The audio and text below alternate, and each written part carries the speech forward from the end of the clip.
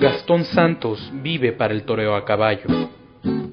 Tiene la mejor cuadra que hay en México, una de las mejores del mundo. Seis horas diarias monta sus caballos. Tenaz, muy exigente, corrige lo que no resulta de su completo agrado. Gastón está plenamente dedicado al arte en el que alcanza notas altísimas y brilla intensamente.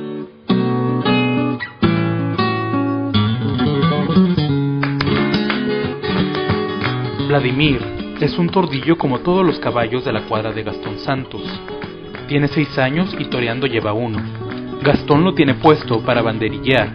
Hace tres meses lo empezó a preparar para recibir los toros. Tenorio ya cumplió ocho años, torea desde hace cuatro. Es el caballo con el que Gastón hace las corbetas. Salta a muy poca distancia de los toros y al caer del brinco se va directo, iniciando un galope que lo lleva hasta los terrenos del toro. Rayito es el veterano de la cuadra. Ha cumplido ya los 11 años y empezó a torear desde los 4.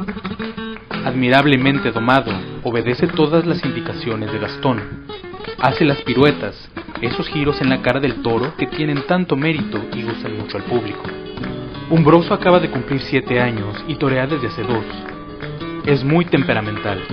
Revela en su actuación cómo se siente el día de la corrida. Cuando está a gusto va con mucho valor con el cuello arqueado y la vista fija en el toro. Urbano tiene siete años y sale a las plazas desde hace tres. Es un caballo completo, ideal lidiando toros difíciles y peligrosos. Gastón lo tiene puesto para ejecutar una de las suertes de mayor mérito, el par de banderillas a dos manos en los medios. Volcán tiene siete años y es su primera temporada.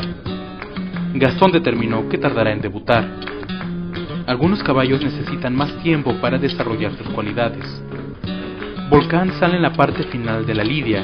En cada actuación se confía más y mejora su técnica. Lo importante eh, es eso, ¿no? El, estar relajado porque el estrés es lo que cansa más que, todo lo demás. Y el toro te estresa mucho eh, sales, eh, aunque sales solamente 10 minutos a lidiar el toro, son 10 minutos muy intensos este, física y mentalmente. Entonces eh, empiezo el entrenamiento con el caballo muy tranquilo, relajado. Empezamos a, entrenar los caballos, como digo, caminando, haciendo los ejercicios al paso, después al trote y luego también al galope. Entonces cuando yo, yo muchas veces estoy eh, galopando o caminando, la gente piensa que, el caballo va por sí solo y realmente el caballo está haciendo exactamente lo que uno quiere. Si yo quiero que el caballo dé un paso hacia atrás, yo le doy la indicación más ligera, el caballo da un paso hacia atrás. Si yo quiero que el caballo dé un paso hacia adelante, un paso. Quiero que dé dos pasos,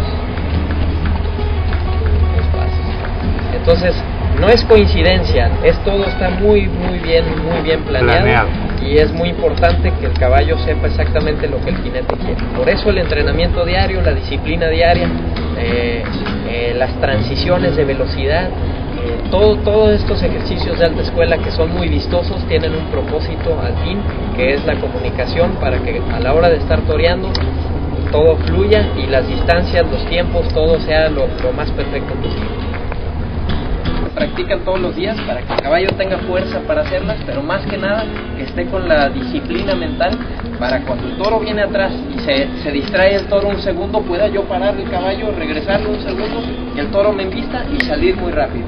Si la reacción de tiempo es más tardada que así, el toro, el toro te gana. O sea, si yo, si yo tuviera que hacer un espuelazo de aquí hasta acá, me tardo un segundo. En ese segundo, a mí el toro ya me agarra. Entonces, yo con una pequeña indicación de la pierna, aquí, sale el caballo a galopar. Todo muy, muy suave, muy suave, muy suave. El caballo va muy relajado.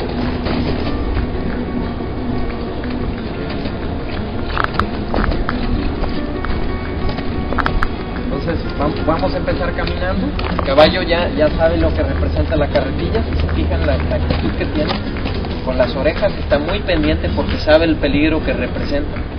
Este, pero lo voy a hacer caminando como si fuera un caballo nuevo. En línea recta.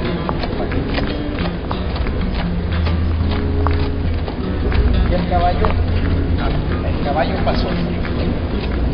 Eso lo hicimos caminando y lo hacemos con los caballos nuevos caminando 400 veces, ¿verdad? Para que el caballo aprenda. Que se acostumbre, exactamente.